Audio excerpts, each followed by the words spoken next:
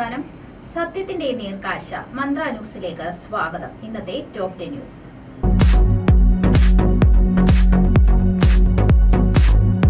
പമ്പ ത്രിവേണിയിലെ മണൽവാരിൽ അഴിമതി ആരോപിച്ച് പ്രതിപക്ഷ നേതാവ് രമേശ് ചെന്നിത്തല നൽകിയ ഹർജിയിൽ വിജിലൻസ് അന്വേഷണത്തിന് കോടതി ഉത്തരവിട്ടു.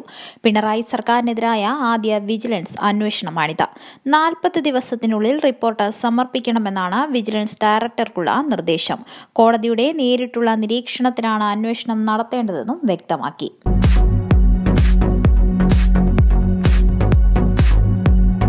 ഓണാഘോഷം കണക്കിലെടുത്ത സംസ്ഥാനത്തെ മദ്യവിൽപ്പനയിലെ നിയന്ത്രണങ്ങളിൽ കൂടുതൽ ഇളവുകൾ അനുവദിച്ച എക്സൈസ് വകുപ്പ്.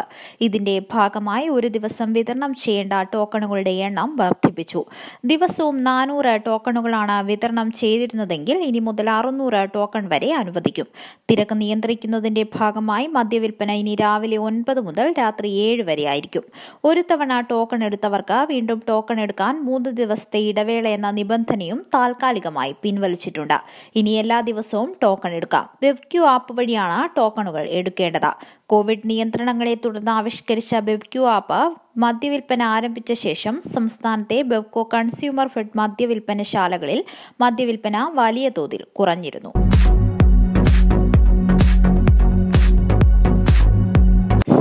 സമയക്രമവും സർവീസുകളുടെ എണ്ണവും മാറ്റം വരുത്തി കൊച്ചി മെട്രോ സർവീസ് ഉടൻ പുനരാരംഭിക്കും. കേന്ദ്ര സർക്കാർ അനുവാദം ലഭിച്ച ശേഷം സർവീസ് തുടങ്ങുമെന്നും ഒരുക്കങ്ങളെല്ലാം പൂർത്തിയായതായും കൊച്ചി മെട്രോ അധികൃതർ അറിയിച്ചു. നാലാം ഘട്ട ലോക്ഡൌൺ ഇളവുകളുടെ ഭാഗമായി മെട്രോ സർവീസ് പുനരാരംഭിക്കാൻ സാധിക്കുമെന്ന കേന്ദ്ര സർക്കാർ സൂചനകളുടെ അടിസ്ഥാനത്തിൽ കോവിഡ് പ്രതിരോധ നടപടികൾ ശക്തമാക്കി സർവീസുകൾ പുനരാരംഭിക്കാനാണ് കൊച്ചി മെട്രോ തയ്യാറെടുക്കുന്നത്. ആദ്യ ഘട്ടത്തിൽ രാവിലെ ഏഴ് മണി മുതൽ രാത്രി എട്ട് മണി വരെ മാത്രമായിരിക്കും സർവീസുകൾ.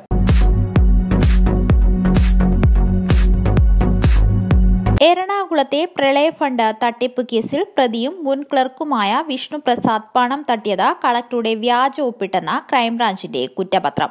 വ്യാജ രസീത് നിർമ്മിച്ചായിരുന്നു തട്ടിപ്പ്. എന്നാൽ ഇയാൾ തട്ടിയെടുത്ത പണം കണ്ടെത്താൻ കഴിഞ്ഞിട്ടില്ല. കേസിലെ രണ്ടാമത്തെ കുറ്റപത്രമാണ് മൂവാറ്റുപുഴ വിജിലൻസ് കോടതിയിൽ സമർപ്പിച്ചത്.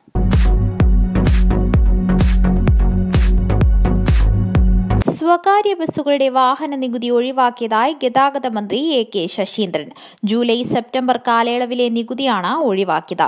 സ്കൂൾ ബസ്സുകളുടെ നികുതിയും ഒഴിവാക്കിയിട്ടുണ്ട്. മുഖ്യമന്ത്രിയുടെ നേതൃത്വത്തിലുള്ള അവലോകന സമിതിയാണ് വിഷയത്തിൽ നടപടി സ്വീകരിച്ചത്. കോവിഡ് സാഹചര്യം കണക്കിലെടുത്ത് നികുതി ഇളവ് വേണമെന്ന് സ്വകാര്യ ബസ് ഉടമകൾ ആവശ്യപ്പെട്ടിരുന്നു. കോവിഡ് പ്രോട്ടോകോൾ പാലിച്ച് സർവീസ് നടത്തുന്നതിനാൽ വലിയ നഷ്ടമാണ് ഉണ്ടാകുന്നതെന്ന് കാണിച്ചാണ് നികുതി ഇളവും ചാർജ് വർധനവും ബസ് ഉടമകൾ ആവശ്യപ്പെട്ടത്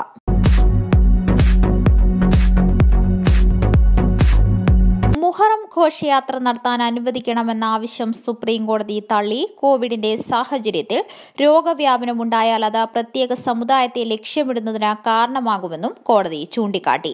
ഘോഷയാത്രയ്ക്ക് രാജ്യത്തുടനീളം അനുവാദം നൽകിയാൽ ഒരു കുഴപ്പമുണ്ടാകും.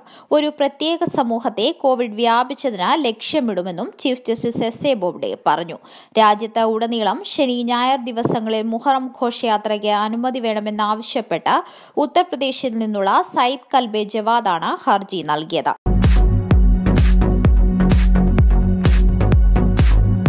കേന്ദ്ര സാമൂഹ്യനീതി വകുപ്പ് മന്ത്രി കൃഷൻ പാൽ ഗുൽജറിന് കോവിഡ് സ്ഥിരീകരിച്ചു.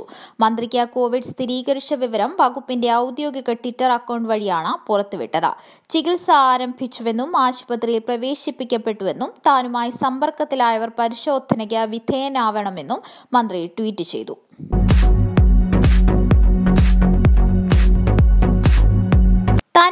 കുടുംബത്തിന്റെയും ജീവന് ഭീഷണിയുണ്ടെന്നും ആയതിനാൽ സംരക്ഷണം വേണമെന്നും മുംബൈ പോലീസിനോട് ആവശ്യപ്പെട്ട് നടി റിയ ചക്രവർത്തി തന്റെയും കുടുംബത്തിന്റെയും സുരക്ഷ ഉറപ്പാക്കിയാൽ മാത്രമേ സുശാന്ത് സിംഗ് രജ്പുത്തിന്റെ മരണവുമായി ബന്ധപ്പെട്ട അന്വേഷണത്തിൽ സഹകരിക്കാൻ കഴിയുകയുള്ളൂവെന്ന് റിയ വ്യക്തമാക്കിയിട്ടുണ്ട്.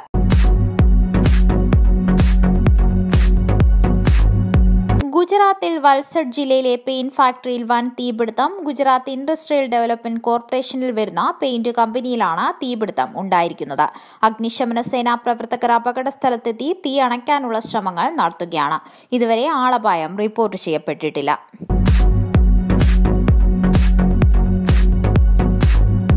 ഐസ്ക്രീം പാക്കറ്റിന് പത്ത് രൂപ അധികം ഈടാക്കിയ ഹോട്ടലിന് രണ്ട് ലക്ഷം രൂപ പിഴ.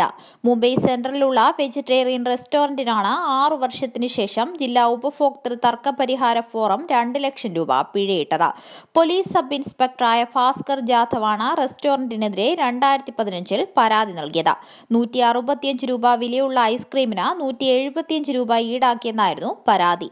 ജാദവ് റെസ്റ്റോറന്റിനകത്തേക്ക് പ്രവേശിക്കാതെ കൗണ്ടറിൽ നിന്നാണ് ഐസ്ക്രീം വാങ്ങിയത്. ബില്ലും ഇദ്ദേഹം ഹാജരാക്കിയിരുന്നു. ഇതോടെ ഇന്നത്തെ ടോപ് ടെൻ ന്യൂസ് പൂർണമാകുന്നു. നമസ്കാരം. കൂടുതൽ വാർത്തകൾക്കും നേരിന്റെ തിരിച്ചറിവുകൾക്കുമായി ഞങ്ങളുടെ യൂട്യൂബ് ചാനൽ സബ്സ്ക്രൈബ് ചെയ്യുക വെബ്സൈറ്റ് സന്ദർശിക്കുക.